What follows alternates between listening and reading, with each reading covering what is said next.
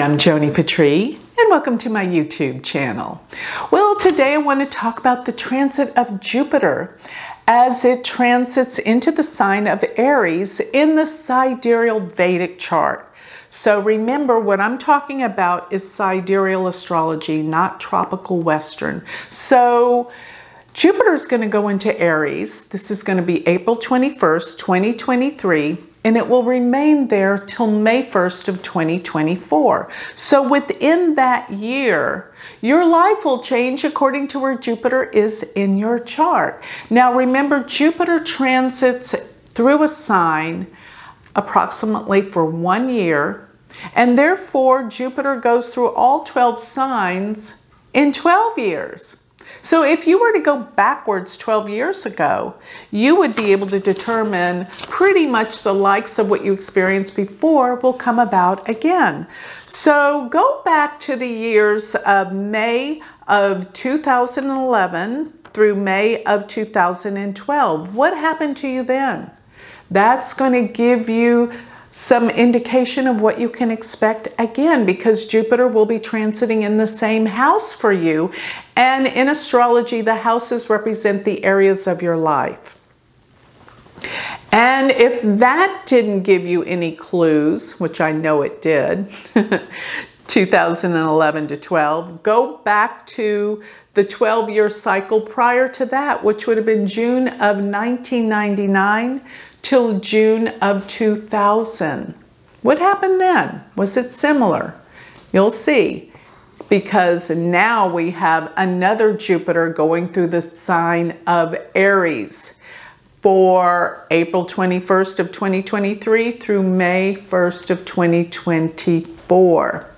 So before I proceed on each sign, I want to remind everyone that, well, first, I want you to go to my website, galacticcenter.org, to figure out your sidereal signs. So what you want to know is your ascendant sign and your moon sign. The ascendant is what's happening to you. The moon is how you're feeling about it all. Both are very important. So go to my free chart calculator, which is on galacticcenter.org and put in your information, scroll to the very bottom and look where it says AS, that's your ascendant sign, which is the rising sign, the ascendant, and look where it says MO, that's your moon sign, and listen to those in this video. So while you're there at my website, please sign up for my free newsletter. You will be getting all of my predictions every week free of charge. Why wouldn't you do that? It is amazing. And if you want more information, if that really piques your interest, look at my magazine. I have an online magazine that is amazing. A hundred pages of so much entertaining information on spirituality and astrology. That is Joni Patry's Astrology Insights. You'll find it on galacticcenter.org. And I want to remind everyone I have a conference coming. This is thrilling, and I planned it because of this Jupiter Rahu conjunction that's going to be happening June 1st. So I have a Vedic astrology conference. It is, I am so excited. The speakers, it's stellar. Check it out. It, you can find it on my website. Go to galacticcenter.org and go to the conference. Click on that. Or you can go to the Future of Astrology. It's going to be in Dallas June 2nd through the 5th. And you won't believe who's speaking. You won't believe it. So go there, check it out. It's your your it's jaw dropping. so go to galacticcenter.org and my conference in Dallas, which is the future of astrology, Vedic astrology, Joni Patry's uh, astrology conference. So love to meet you.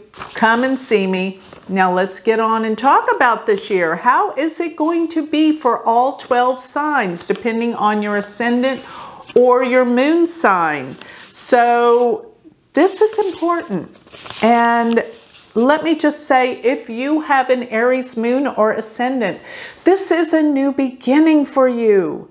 it's going to be in the first house. The first house represents you, your physical being, the way you look, the way you appear to the world, your presence, your confidence will be out the roof. You are going to be more confident, more aware, more reassured, and physically you're going to take on a whole new appearance because that's what the first house is. And the way you respond to the world.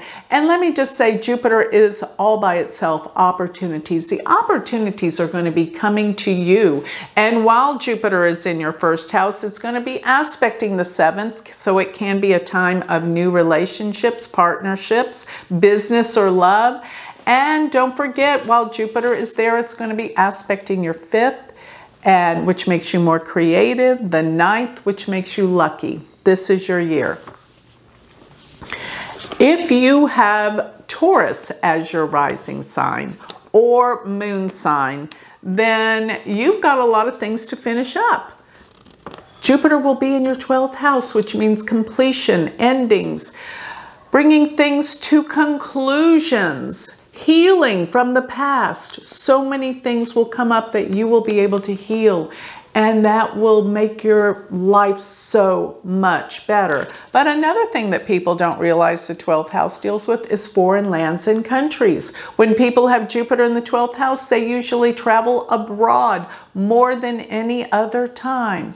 But the 12th house deals with sleep and dreams. You will be rested. You will have meditation, spirituality will really open for you. And all at the same time, there will be a healing because Jupiter's aspecting your sixth house. And also, if you think about it, Jupiter is going to be aspecting so many other houses that will bring you a healing, particularly um, the 12th house is opposite the 6th and it will also be aspecting your fourth house, which could mean opportunities for move, relocating.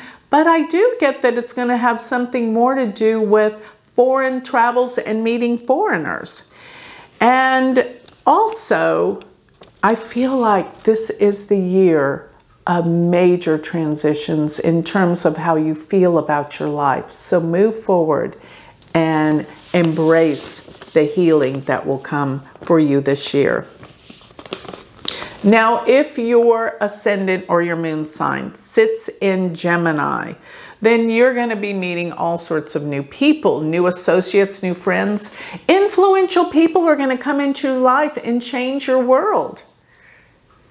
New friends, being involved in new groups. This is empowering for you and don't forget, it will be aspecting your fifth house, which will open your heart and make the world a better place for you. So with with it also being in Gemini, you're going to find your communications. I mean, I'm sorry, with with your Gemini ascendant, uh, this is going to influence how you communicate with people, with it being in the 11th house of groups and friends. But if you have an older sibling, you'll find there's going to be a healing in coming together with them more so.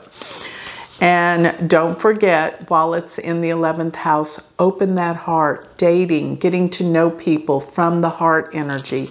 That's going to be extraordinary and empowering.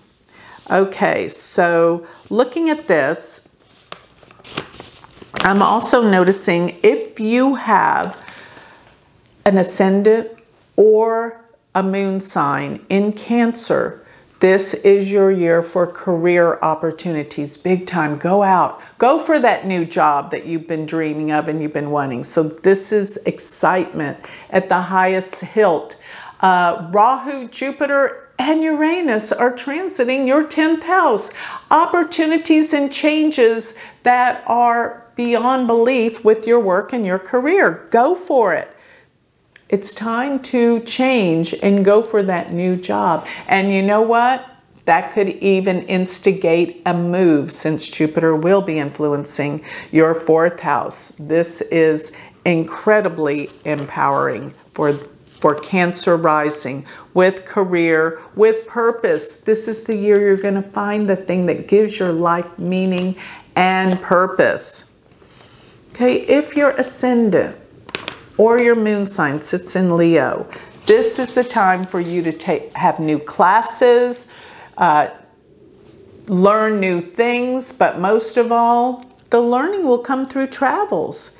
And this is an amazing year for opening your eyes to new spirituality, new ways of thinking, and your philosophies on the world will change.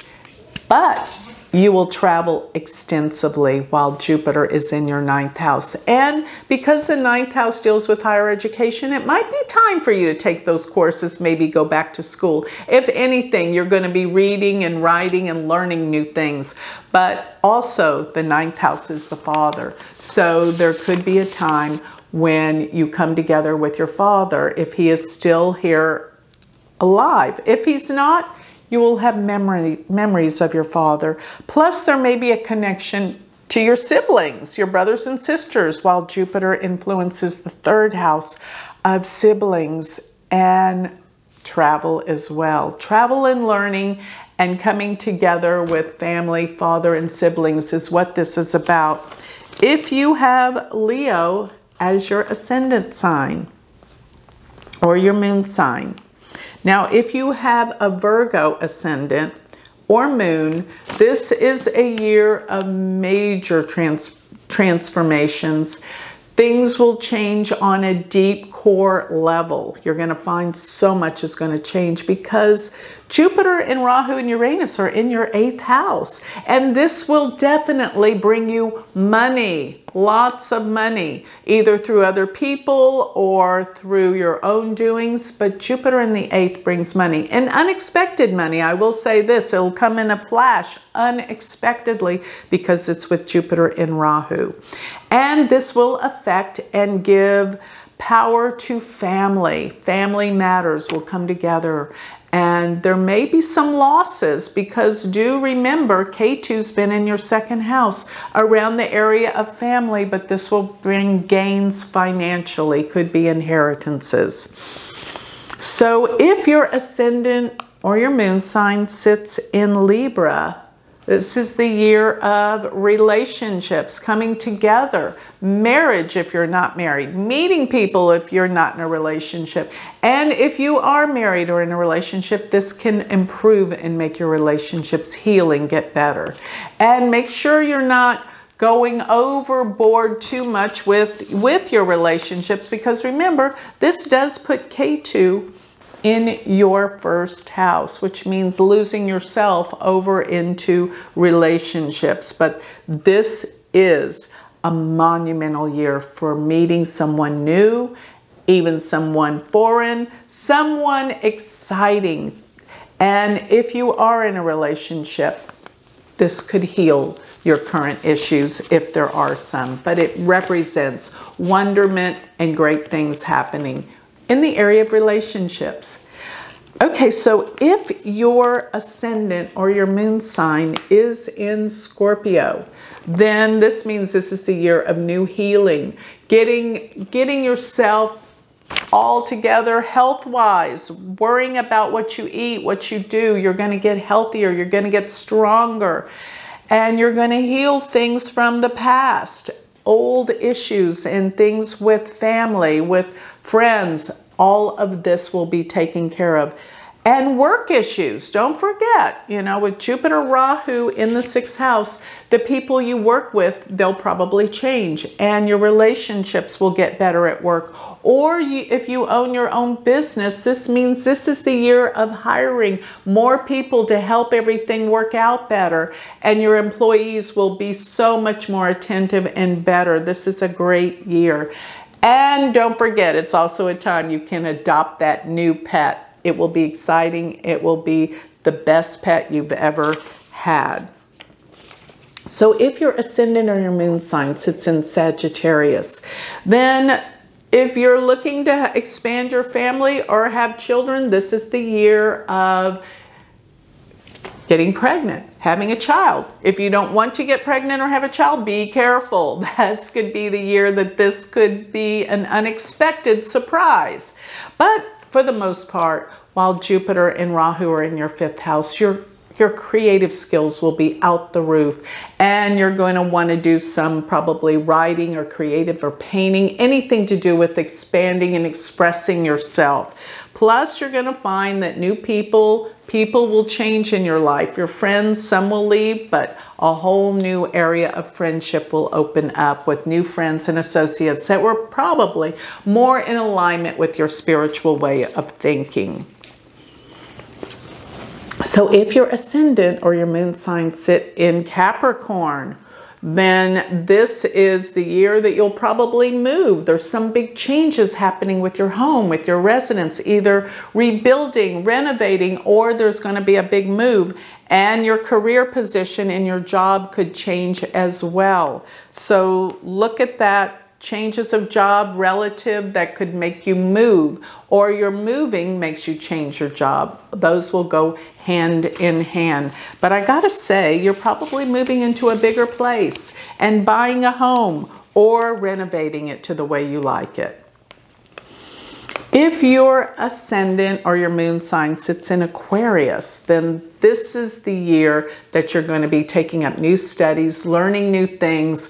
Your communications are out the roof. You have so much to say, so much to write, everything to do about social media. You're writing, you're communicating, you're getting together with so many people uh, in, in the area of what you have to express. Your creative skills will take off as well. And you're going to find that you're going to be traveling, probably traveling uh, more by car, but definitely you could be going to some foreign places as well, taking classes, maybe traveling to visit your brothers or sisters. And or this could mean because maybe you need to go visit your dad if he's still around. So if your ascendant or your moon sign sits in Pisces, then this is the year of great gains financially. You're coming into money. You're going to find new ideas on how to make money, how to organize your money, how the law of attraction is going to attract more wealth, prosperity into your life. And family will become closer during this time.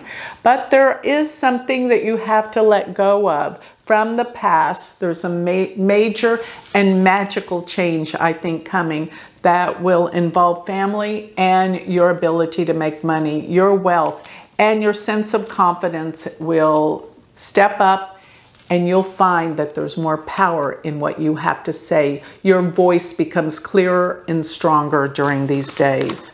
So with that, I've concluded all 12 signs, what you have to look forward to in this next transit of Jupiter while it's in the sign of Aries. So good luck. Look for what is positive in the world, the opportunities Jupiter will provide it depending on what house it's in in your chart. It always does. It's, it's about expansion and growth. So remember, if you want to learn more about Vedic astrology, check out my university, University of Vedic Astrology.com and come visit us in Dallas during the conference in the Dallas Conference, Future of Astrology, June 2nd through the 5th. And if you want more info on me, go to my website, galacticcenter.org. Thank you.